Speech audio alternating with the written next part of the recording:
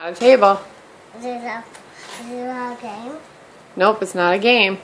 Is it a food? You use it with your food. Is it milk? It's not milk. Is it, You use it with your yogurt.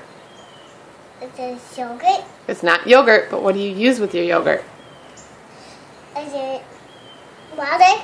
It's not water. Is When it, Libby has yogurt, what does she have? Today yours was pink or purple. Or was it the elephant? You use it with your cereal too. is, is it mine a toy?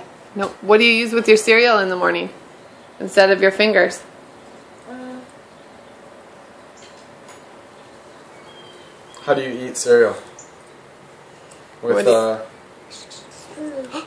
It's a it's spoon. a spoon. You Grab got it. Look Grab at it. Pull it down. Did you get it? Yay! Good job.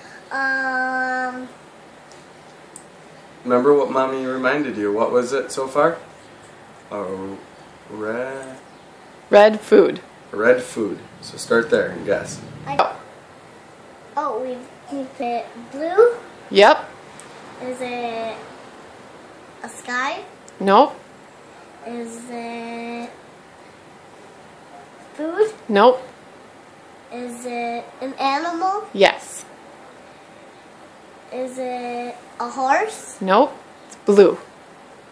A blue A blue animal. what?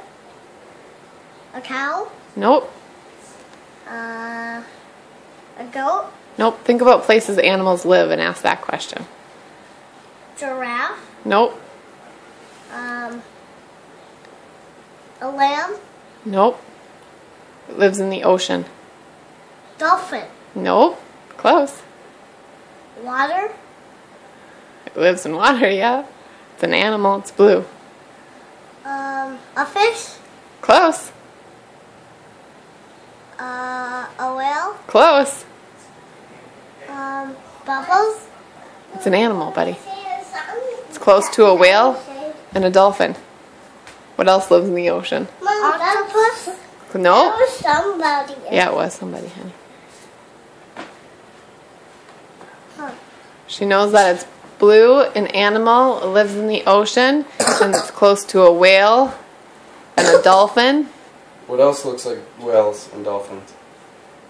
A shark.